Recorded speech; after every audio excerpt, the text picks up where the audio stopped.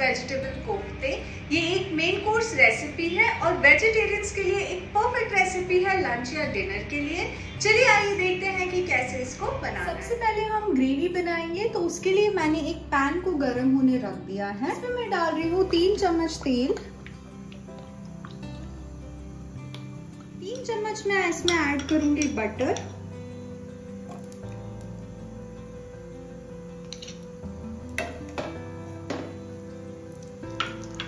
जैसे ये गर्म होगा, मैं इसमें डालूँगी एक तेज पत्ता पाँच लौंग,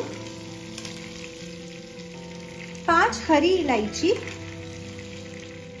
दो हरी मिर्च, तीन प्याज जिनको मैंने रफली चॉप कर लिया है 10 से 12 लहसुन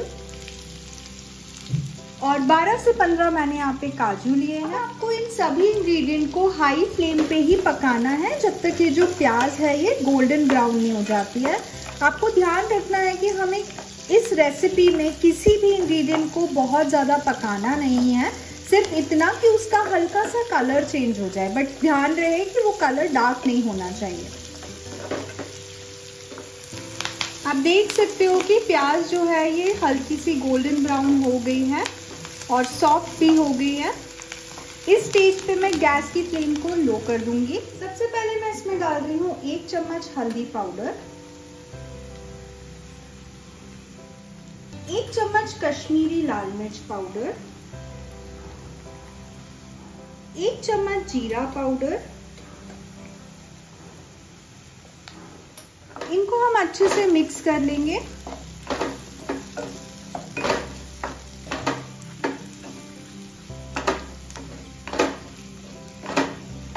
एक मिनट के लिए इसको पका लेंगे ताकि जो मसाले हैं वो अच्छे से पक जाए।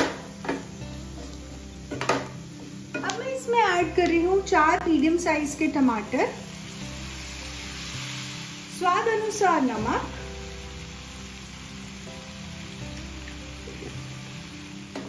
इनको आपको अच्छे से मिक्स करना है और टमाटर को मीडियम फ्लेम पे आपको पकाना है जब तक ये मैशी नहीं हो जाते हैं।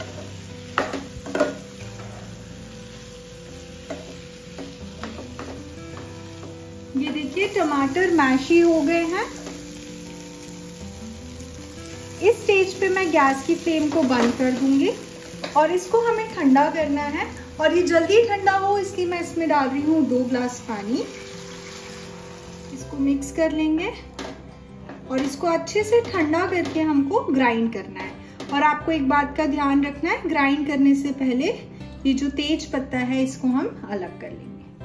कढ़ाई को गर्म होने रख दिया है। अब हम जो ग्रेवी अभी ग्राइंड की है, उसमें हम तड़का मारने वाले हैं। तो सबसे पहले मैं इसमें डाल रही हूँ दो चम्मच बटर इसको हल्का सा गरम कर लेंगे। इसमें जाएगा आधा चम्मच अदरक। तो यहाँ किस्सा हुआ अदरक लिया है मैंने। मैं इसमें ऐड करूँगी जो हमने ग्रेवी ग्राइंड की थी। क्योंकि हमने इसमें पानी ऐड किया था तो इसको हम हल्का सा पकाएँगे ताकि जो पानी है वो भी पक जाए। और इसको मीडियम फ्लेम पे हमें पकाना है, जब तक इसमें बॉईल नहीं आ जाता है। जैसे ही इसमें बॉईल आने लगेगा, मैं इसको ढक दूँगी और इसको मैं मीडियम टू लो फ्लेम पे पकाऊँगी एटलीस्ट टेन मिनट्स दस मिनट हो गए हैं। हमारी जो ग्रेवी है, वो बिल्कुल रेडी हो गई है। इस स्टेज पे आप चाहें तो इसकी कंसिस्टेंसी भी एडजस्ट कर सकते हैं और नमक भी टेस्ट कर सकते हैं। इसमें डाल रही हूँ एक चम्मच कसूरी मेथी, एक चम्मच गरम मसाला, एक चम्मच मलाई।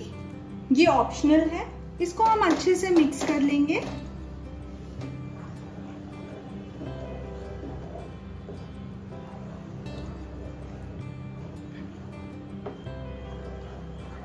इसमें मैं ऐड करूँगी थोड़ा सा हरा धनिया। और जो हमारी ग्रेवी है वो बिल्कुल रेडी हो गई है। चलिए कोफ्ते बना लेते हैं। कोफ्ते के लिए सबसे पहले मैंने ली है आधा कप पत्ता गोभी, जिनको मैंने बिल्कुल बारीक चॉप कर लिया है। आधा कप में ले रही हूँ किसी हुई गाजर, आधा कप शिमला मिर्च, आधा कप मैं ले रही हूँ बीन्स।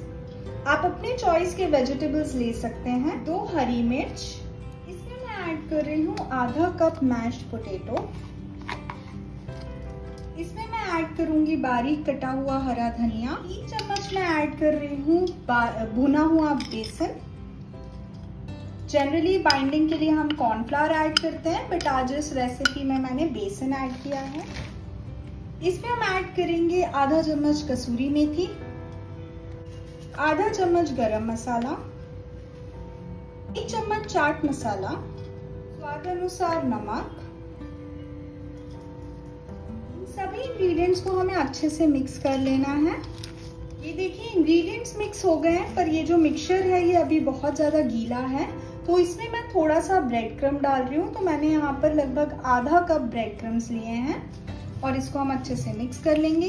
इससे जो होगा, हमारी जो बाइंडिंग होगी, वो थोड़ी सी अच्छी हो जाएगी। आप देख सकते हैं कि जो हमारा ये मिक्सचर है वेजिटेबल्स का, ये काफ़ी थिक हो गया है।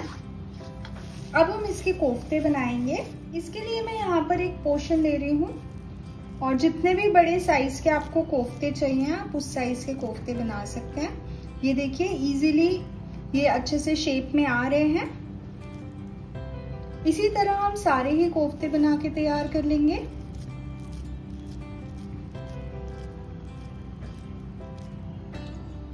आप देख सकते हैं, मैंने सारे ही कोफ्ते को शेप दे दिया है। अब इसको फ्राई करने से पहले मैं एक बार ब्रेड क्रम्स में इसको कोट करूँगी। तो इसी तरह एक कोफ्ता ले लीजिए। और यहाँ पे मैंने ब्रेड क्रम्स लिए हैं। इसको आप अच्छे से कोट कर लीजिए। इससे जो आपके कोफ्ते हैं वो क्रिस्पी बनेंगे। एक्सेस ब्रेड क्रम्स को निकाल दीजिए और आपका कोफ्ता फ्राई करने के लिए रेडी है। अब हमने कढ़ाई में तेल गरम होने रख दिया है। और तेल को आपको अच्छे से गरम कर लेना है। एक बार तेल गरम हो जाए तो फ्लेम को हम थोड़ा सा मॉडरेट उसमें लाएँगे और फिर एक एक कर कर हम जो है कोफ्ते तलेंगे। तो आप पहले एक कोफ्ता डालिए और चेक कर लीजिए कि वो फट तो नहीं रहा है। आप देख सकते हैं कि कोफ्ता जो है वो फट नहीं रहा है। मतलब हम, हमारी जो बाइंडिंग है वो बिल्कुल बराबर है। तो अब हम इसी में और कोफ्ते ऐड कर देंगे।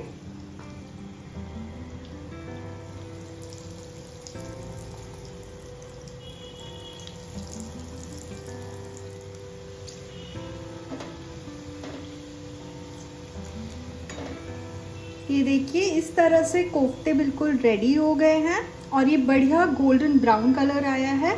चलिए सारे कोफ्तों को इसी तरह हम फ्राई कर लेते हैं।